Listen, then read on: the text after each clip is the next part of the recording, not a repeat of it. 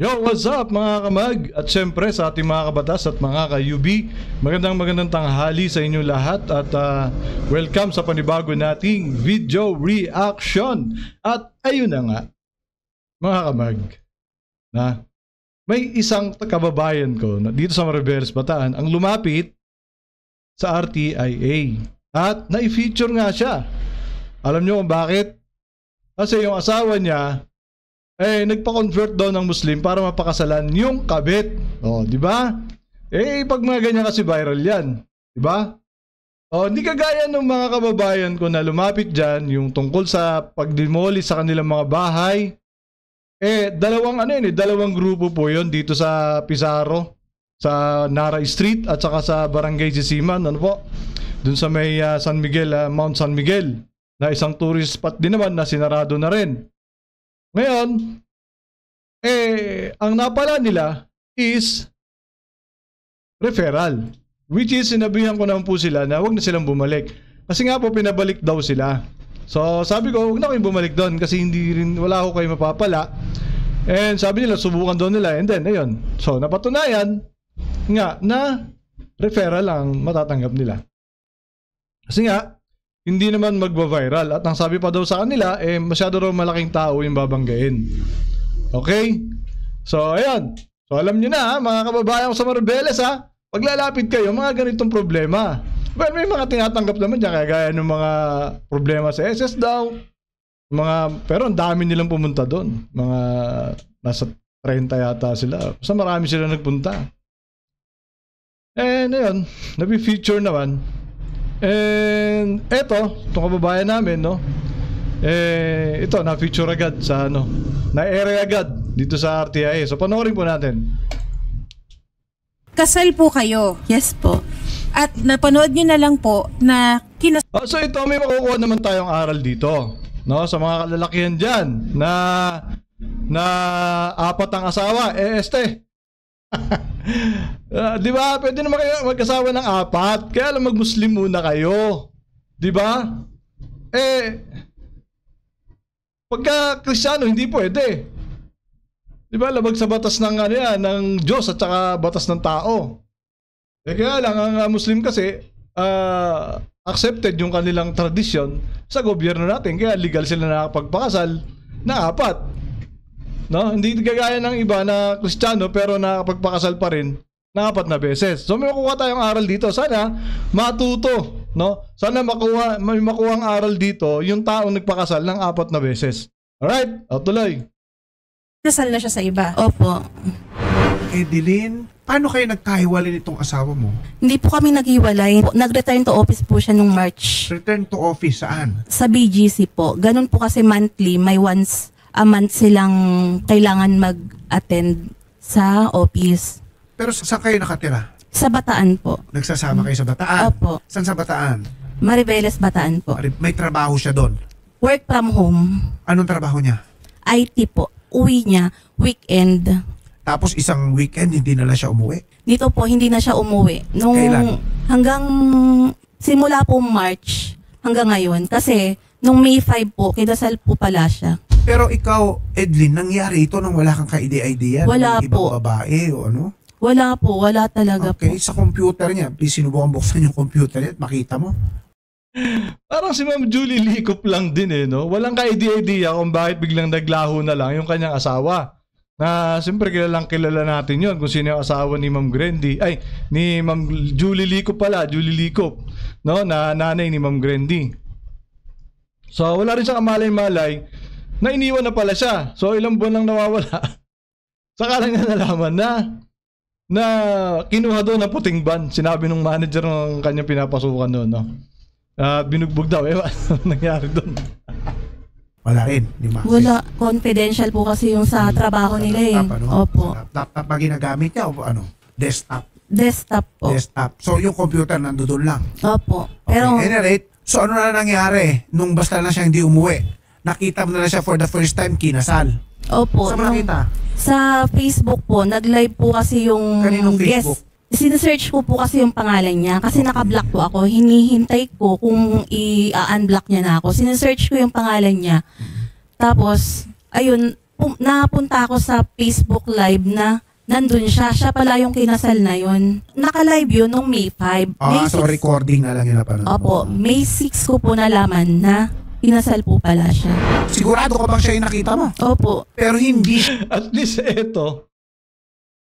At least eto, nag-Muslim. Di ba? Kaya lang, well, malalaman natin kung legal pa rin ba yan. Di ba? Na, banda, banda uli, nagagamit tuloy yung religion na ano eh. Ng Muslim eh, di ba? Ng Islam. Tuloy. siya Muslim. Hindi po, Catholic po. So lumalabas itong husband mo, nagpa-convert sa Muslim kasi hindi naman siya may kakasal under Muslim lives kundi siya nagpa-convert. Opo. Kaya lang, existing pa yung kasal niyong dalawa. Opo. Ilan ang anak niyo? Dalawa po, isang 13, isang 4 years old. Since then, wala na, hindi man lang tumawag. May contact naman po kami. Ang yung ina, ini-insist niya, mag, aano na lang po, magsusustento. Okay. Ano yung sinasabi niya? Wala nang epekto, wala nang visa yung kasal niyo dahil nagpa-convert na siya ng Muslim? Hindi niya naman po totaling sinabi, pero ayun nga, maghiwalay na lang kami kasi hindi naman daw po kami nagkakaintindihan. Tony Abok, sir, ano po ba ang legal implication nito considering na Pero ito kasi no, yung mga ganitong kaso, hindi naman kailangan dito sa RTI yan. Di ba? Pwede naman yan, ano, ah, kasuhan na lang. Pwede naman siya lumapit sa PAW, wala siyang pera. Ah, i-accept ka naman ng PAW eh, if ever. Kaya lang, bakit anong dahilan para dalin mo pa sa RTIA? Para magkapahiyaan ba? Or ayuda? Or uh, you're expecting na tutulungan ka nila sa gastos? Well, malamang ganun ang gagawin dyan. Ano? Pero kung, di ba? Para, kasi, naka, ang kahihiyan dito, ika, okay lang mapahiya ka kasi magulang ka eh. Yung mga anak nyo, mga anak nyo paano?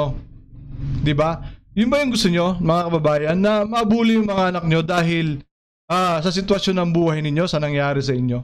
At kailangan nyo pang ipabroadcast sa RTIA yung inyong mga problemang ganito. Pwede naman kasuhan na lang to.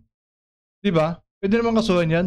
At I think, no, na lahat naman siguro na abogado alam na bawal pa rin yan kahit na nagpa-convert ng Muslim. Di ba? Hindi ako naniniwala na yung yung kakausapin dito na ano, na abogado ay siya lang nakakalam. I know, kahit si Villamor, si Atty. Villamor, alam niya yan. Di ba? Ang tuloy.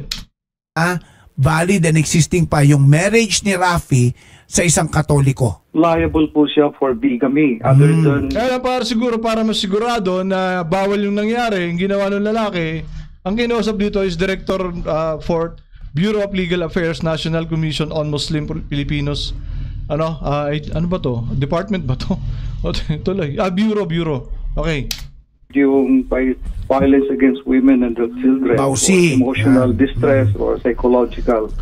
So ang pinaka ano mo lang po dyan, ma'am, kasi nangyari na po ito sa kaso ni Malakay versus Malakay. Ayan, okay. Ah, Supreme Court decision po yan, Attorney Abo? Opo, opo, Yan, sir. okay. So, paking, mga netizens, pakinggan po natin ito ah.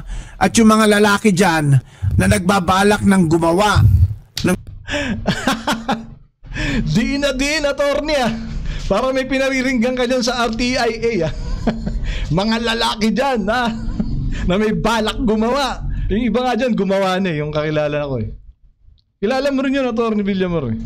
Gumawa na, nagpakasal apat na beses. Ap- kasi apat yung senator eh. No, di ba? May ebidensya na kaya, na kaya, ano, na kaya Ma'am Julie Lico. At tuloy, ng ganito na they will seek refuge under Muslim or Sharia law kahit na may asawa sila makapagpasa makapag-asawa lang uli ng iba.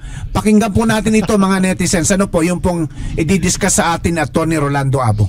Uh, yung failure po to give notice to the nearest Sharia court, yung tao nag-convert to Islam ay uh, ma-expose po siya sa kasong bigamy.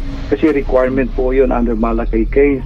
Okay. So bago, kasi uh, it's very hard to determine whether or not he really converted to Islam. Kasi that's the question of faith eh. Opo. So, kung uh, sa Malakay So ibig sabihin, yung yung ang tawag ba sa pinaka pinaka ministro ng Islam. Ah, hindi nila alam yung batas na 'yan. Ano po? So ang alam din nila kapag na na-convert sa pagka-Muslim, eh, okay na. Pwede na magpakasal. Di ba ano po bang tawag dun sa pinaka-ministro nila? Yung sa Muslim. Di ko po kasi alam. Nakalim- alam ko kaya sa nakalimutan ko. Tuloy. Okay, kasi hindi nag uh, nag-file ng notice na mag, mag-contract siya ng subsequent marriage. Magfa-file tayo sa Sharia, nearest Sharia court na magko-contract siya ng subsequent marriage after nung uh, nag-convert siya ng Islam, ganon. Pero kahit na po mag-convert tayo ng Islam, kailangan po papawalang visa pa po natin yung, Yung unang first kasal marriage. natin. Yes po, kasi under po civil yun eh. Okay. Kung halimbawa ang kasal niya po ay both Sharia, wala pong problema, hindi po siya may expose sa bigamy. Ah. Mhm. Since na hindi naman niya pinadeclare null and void or pinaanal yung first marriage niya, may expose po siya sa bigamy. O tsaka bawsi po, emotional and psychological distress dun sa Ako first po. wife. Opo. So Rafi Castro kung nakikinig Uy! ka, Parang Rafi din yung kilala ko. Parang Rafi din yung pangalan ng kakilala ko. Pero hindi na Muslim yun, Kristiyano yun ha, Kristiyano. Pero four times nagpakasal? Parang ganon? Tuloy. ha, baka madamay pa, Sir Abo, Attorney Abo, since bigamy po yan, pwede pong madamay yung pinakasalan ni Attorney Abo kung alam ng pinakasalan niya na merong Opo. previous marriage yung yung kanyang pinakasalang lalaki? Opo, opo. As ang ang ginagawa po sa office ng city prosecutor, Mm. dalawa silang sasampa ng kaso. Okay. Kasi Mm. Unless ma-prove ng babae na Hindi niya He alam. was not, oh yeah, yeah, hindi niya alam na na kasal pala siya doon sa, may meron siyang kasal. Valid and subsisting na kasal. Okay. Okay. So for uh, Okay, ganito ang tanong. Ngayon natin, tatanungin kita. Pag pinakulong mo yung asawa mo, kaya mo buhayin yung mga anak mo? Ah, masusupport mo ba yung educations nila? Ah, lalo na at mga ano na yan, mga dalagi na 13, 14. Mag-graduate na yan ng ano, ng high school, malapit na. So magka-college na yan. 'Di ba? So, paano yun ate? Kung papakulong mo yung asawa mo, sa tingin mo, kaya mo suportahan yung kolehiyo niya? Well, kung kaya mo naman, no problem. Pakulong mo. 'Di ba? Pakulong mo sila. Wala problema doon. So, siguro yun naman yung dahilan mo. Kaya ka lumapit dyan sa RTA para may pakulong yung asawa which is kahit naman hindi ka dyan lumapit, meron tayong ahensya sa gobyerno na pwede mo lapitan para lang may pakulong mo yung asawa mo. Alright? Hindi mo kailangang expose yung kahihiyan ng family sa buong mundo. Okay? Ayaw lang naman kasi kababayan kita. At tuloy. at uh, Rafi, tingnan mo pang mabuti, baka madamay pa dito yung pinakasalan mo at yung pong mga nakama- kamag-anak nung napakas pina- Uh, Rapi, ha? Baka madami yung pinakasalan mo. Oh. Ay, naku Rapi. Ba't Natuloy. nakasalan ni Rafi. Paki-advise lang po ng mabuti yang si Rafi at yung kanya napaka, napangasawa at baka Ah, advice daw mabuti si Rapi, ha? Oh. Eh kasi baka mamaya pakasal na naman, tapos hindi na advisean. Oh, kasi nga nag-convert. Pero kahit di mag-convert, pwede naman. 'Di ba? Kaya lang makukulong ka. Kaya lang yung kilala natin bakit hindi na bakit na-absuelto? Ito lang. Absuelto natin. ah, madamay pa yung pinakasalan ni Rafi sa kasong bigamy. Base sa pagkaalam mo, saan ba nangyari yung kasal? Sa Tagig po, government Ako. employee po yung babae. Sa Tagig, Na-identify mo na ba yung babae? opo, Alam mo na rin ang pangalan? opo. Ah, kababayan pa ni ano, ni Atty. Libayan. So if ever magpa-file tayo ng kaso ng bigamy sa Tagig at Bausi, ah hindi ba natin ma-reach out si Rafi ngayon? Ah, Wala. ringing tayo. Ringing lang, ringing lang. Actually, mas Apakaganda pala naman ng babae. Oh, may kamukhang artista tong babae. Ah, siguro na ano, parang nawala sa sarili si si Rapi. Eh, ang ganda eh, tsaka mukhang mayaman eh. Ah, Rapi. Rapi! masakit dito, ma'am, yung ah, actually nalaman nyo lang po sa live, Facebook live lang. Oo. Pero bago nyo pa man, ma'am, nahuli nyo na po ba siya doon sa babae? Hindi Or nga wala po, talaga at wala all? po, wala po akong idea sa kanila. Wala naman po siyang ina... Aba, magaling. Parang yung kilala ko din. Ha? Nalaman na lang eh, ilang taon na? 7 years? Ah, hindi. 13 years old na yung si Ma'am Grande nung nalaman. No, na buhay pa pala. Na nakapagpakasal pala ulit. Oh, ng fo- three times. 'Di ba? Magaling, magaling magtago versus tong Rapi. Ha? Tuloy. namin sa inyo about dito sa babae. Wala po, pero dahil mahal ko siya, tinanggap ko pa din. Okay.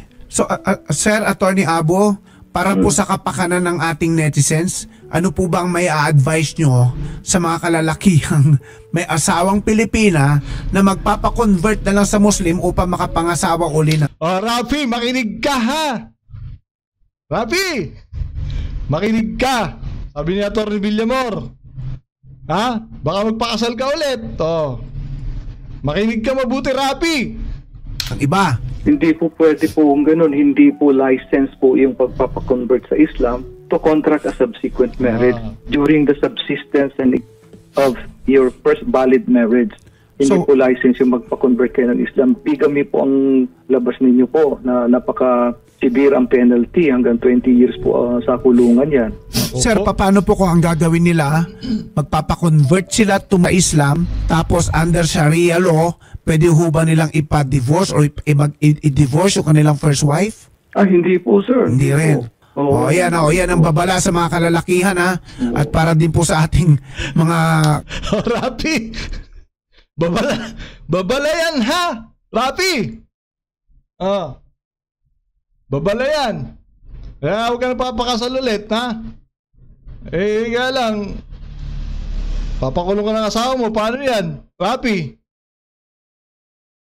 Eh, yun nga lang ate, eh, kawawa naman yung mga anak mo kasi, yan, mga bandang huli, mabubuli yung mga anak mo niyan. ba? Pero sana wag naman, nga lang, ba? Eh sana bago kayo lumapit diyan, ano? No, um, ma'am, uh, pangalan to? Ma'am Castro, Tarapi. No, paano na yung mga anak niyan? Pagpasok sa school at napanood ito. 'Di ba? Ah, tuloy. kababaihan dyan, eh, bantay-bantayan nyo po yung mga asawa ninyo na papakonvert ng Islam at mag-aasawa ulit. So hindi po pwedeng gawing ah, cover ang pagiging Islam para makapangasawa ulit. Bigami pa rin po yan. Ako, ayan po ang malinaw sa batas. Okay, bigami pa rin po, no? Kahit magpa-convert kayo. Kaya lang yung iba na pagpakasal pa rin kasi kahit sa Kristiyano pa rin nagpakasal. At hindi na kukulong. At hindi na, di ba, nakasuhan pero na ano, na, bagay nasa orthopapil naman. Kaya lang sana, ano, sana maging parehas yung husgado natin. No, para ma-serve naman yung tamang hustisya dito kay Ma'am Julie Licop. Ano po? Di ba? Kasi kung ang Muslim, kung ang isang Kristiyano ay nagpa-convert sa Muslim, ay bawal pa rin sila magpakasal kahit Muslim na sila, no? Eh paano pa yung ah, Kristiyano tapos nagpakasal ulit sa Kristiyano? 'Di ba? Di mas malala 'yon.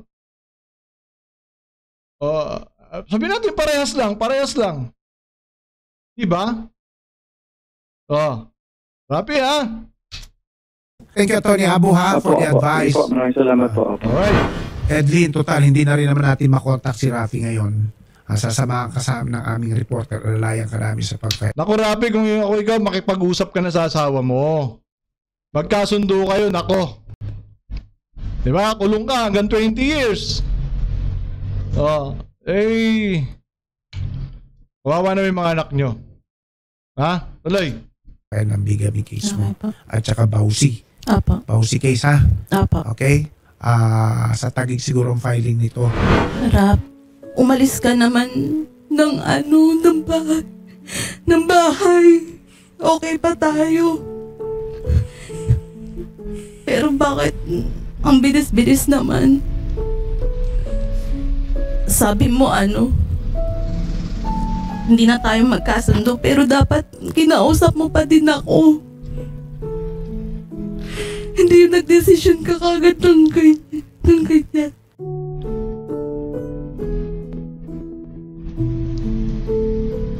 Pero Ay, sad music.